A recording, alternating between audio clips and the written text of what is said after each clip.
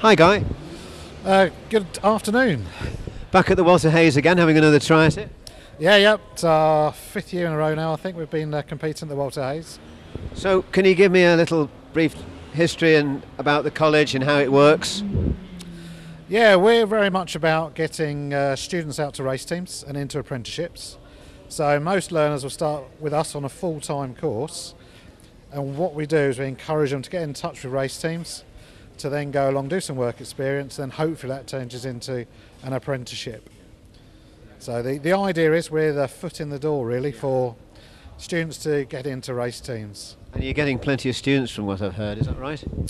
Yeah, I mean we uh, get a lot more applications than we can take each year, so uh, we have to whittle those down to, to 60 to 80, depending on uh, the numbers we got. But yeah, it does have a pretty good um, application rate. So And you've got uh, Jade Kruger again. yeah, yeah, second year with Jade. Yeah, yeah. So uh, yeah, me and him have teamed up again to uh, see if we can have a slightly better result this year, hopefully. And uh, what amazing uh, form and uh, Nick Tandy's done this year with winning Le Mans and everything. And he was in this car, what, two years ago?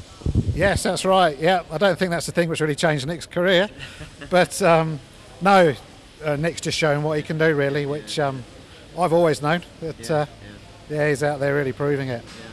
So have you ever thought of maybe having two cars at the, at the Walter Hayes, or is that too much?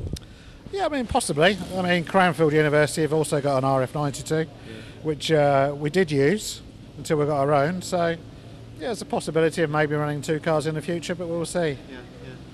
Well, it's looking as good as ever. You know, it always looks in tip-top condition. You've always got them. Well, they're working on the car now, even.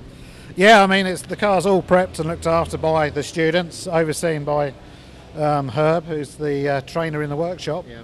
So um, yeah, I mean it's a credit to them really how well the car is presented.